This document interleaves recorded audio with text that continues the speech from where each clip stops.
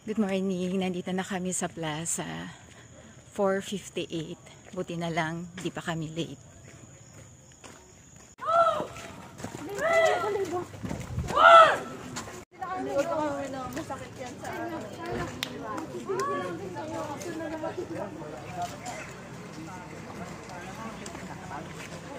Nahirapan ka ba, be?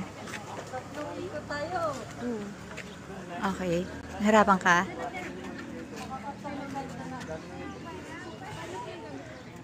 Mahirap pero kakayanin dapat. 2 minutes na break time. Nandito na kami ng anak ko sa malapit sa dagat. Kukuha na kami ng araw-araw. Yun ang kailangan naming ipasa. Katatapos lang ng training namin.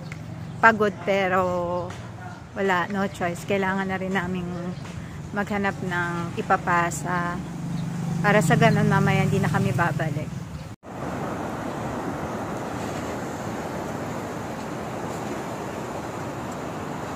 Tinatawag na araw-araw. Ito yung kailangan namin maipasa. Ito pala yung kailangan namin upitin. Sobrang dami ng araw-araw dito. Mapupuno na itong aming isang sakong dala. Kasama ko ang aking anak.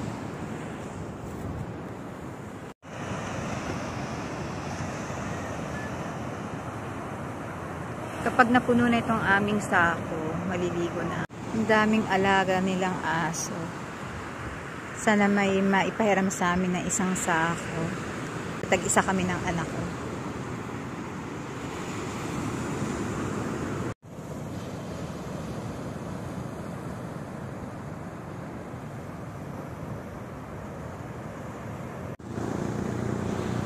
Yan yung nakuha namin ng anak ko na kailangan maipasa bago kami umuwi ng bahay para di na kami babalik mamayang hapon. After naman nito tatakbo naman ako sa buhanginan. Pagkakataon pa na itong makapag-practice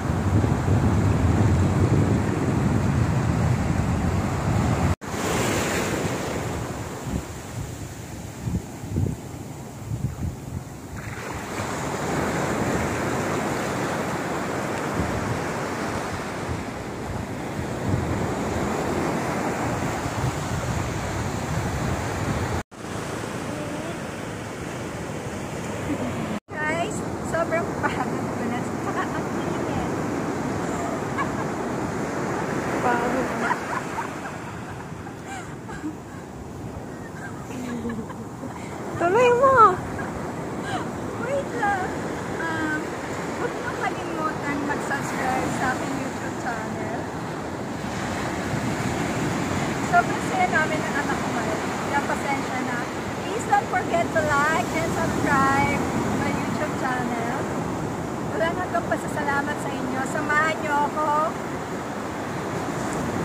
hanggang sa matapos yung training ng aking anak at sana pumusta kami.